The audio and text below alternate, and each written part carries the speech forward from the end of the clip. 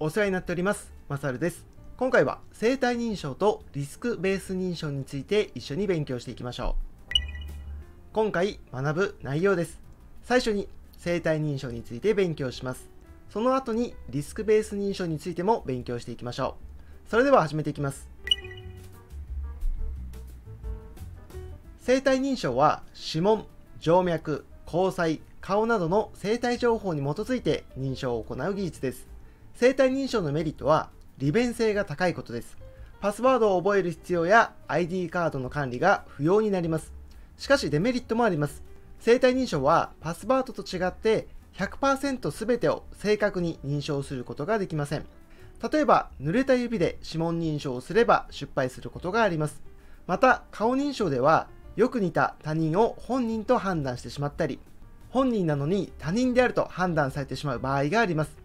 ちなみに他人なのに受け入れてしまう確率のことを FAR、他人受け入れ率、本人なのに拒否してしまう確率を FRR、本人拒否率と言います。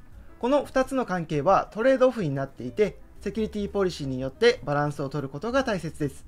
生体認証はこの表にまとめているようにいくつか種類があります。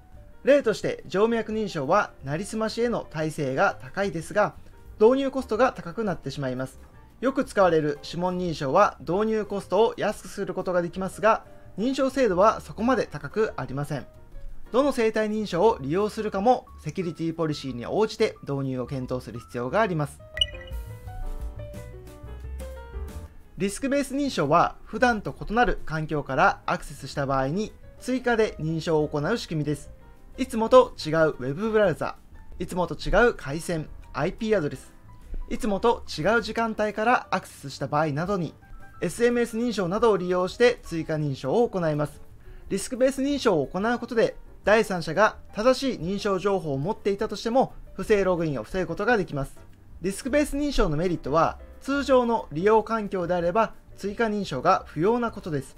普段は必要十分な認証を行い、普段と異なる場合のみ追加認証を行うことで、利便性を確保しつつ、セキュリティ強度を高めることができています。あと知っておきたいこととして、リスクベース認証を行うためには、サーバー側で利用者のログを取得しておく必要があります。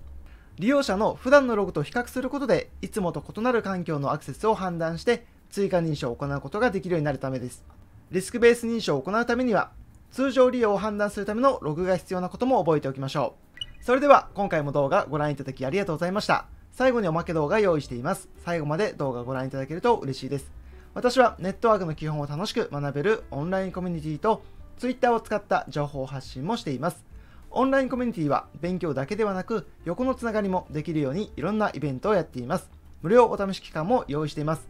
ぜひお気軽にオンラインコミュニティ遊びに来てください。それではまた次回の動画でお会いしましょう。生体認証とリスクベース認証でお願いします。生体認証とリスクベース認証ダブルでいただきました。はい今日も今日も学んで登録テキスペ情報支援し生体認証の制度順静脈いいね。交際いいね。指紋顔うん。生体認証の制度順静脈いいね交際いいね指紋普通。顔うん。リスクベース認証の特徴。いつもと違うと？追加で認証？いつもと同じで？追加は不要？リスクベース認証の特徴。いつもと違うと？追加で認証？いつもと同じで？追加は不要？あなたに過去問プレゼント情報セキュリティマネジメント平成30年春午前問い25リスクベース認証に該当するものはどれか。あえどれが正解でしょうか？今回の問題はちょっと簡単かな？正解は？う正解できた人おめでとうございます。